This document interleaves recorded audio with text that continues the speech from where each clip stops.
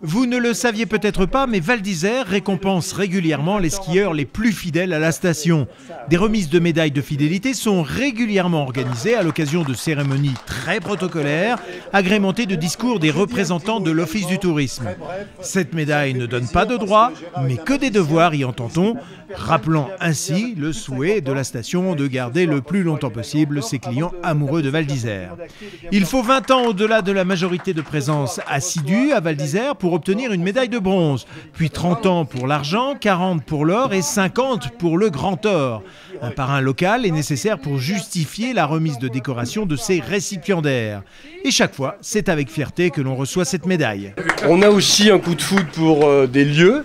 Et moi, j'ai eu un coup de foot pour cette station il y a plus de 40 ans maintenant que je suis venu pour la première fois, 67, 68, j'ai pas tout à fait le point de, de repère, mais j'ai vraiment adoré cette station alors qu'elle était beaucoup moins belle qu'aujourd'hui, beaucoup moins rayonnante.